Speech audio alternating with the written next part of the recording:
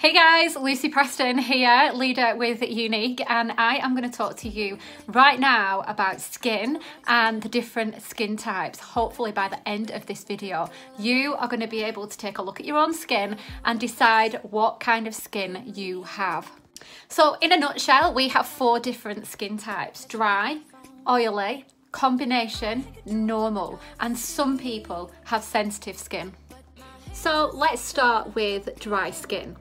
People with dry skin may, may feel tight, um, they might have scaly patches on their skin and unfortunately premature wrinkles. Yeah, that's right, more visible lines. And they could experience less uh, elasticity in their skin, certainly a dullness to their skin.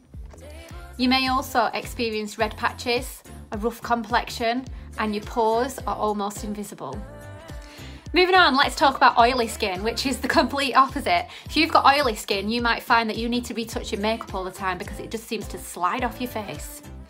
You may also experience enlarged pores, dullness, shine, and a thick complexion.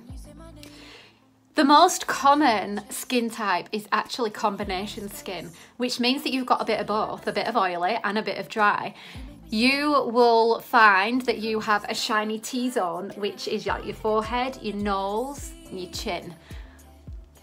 Along with the shine, you might experience larger pores in your T-zone and then everywhere else is just dry, dry, dry, dry.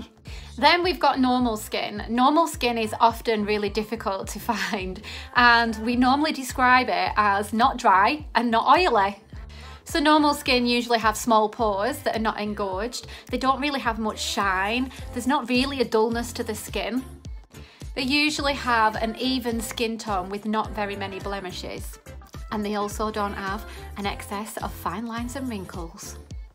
Finally, just to touch on sensitive skin. Sensitive skin can be really irritable. You can often find yourself itching and scratching it.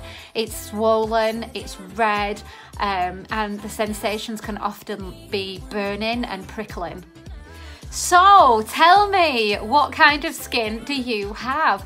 Feel free to post it in the comments what kind of skin you have, or if you're having some difficulty, then please put comment below and I will try my best to help you decide what kind of skin type you are. And it is super important that you do know your skin type because what's coming is very exciting.